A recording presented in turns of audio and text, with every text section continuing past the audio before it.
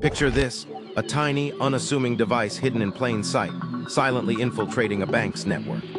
In the latest cyber heist, hackers from the notorious LightBasin Group planted a 4G-equipped Raspberry Pi directly onto a bank's ATM network switch.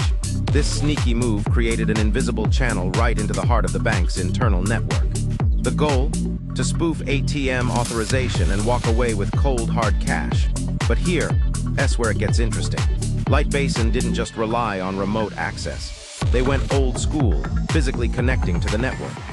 This hybrid attack combined physical intrusion with advanced digital tactics, making it a rare and sophisticated breach.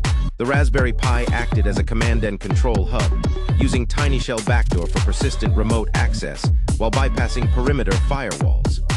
Once inside, LightBasin moved laterally through the network, targeting critical servers like the network monitoring server and mail server.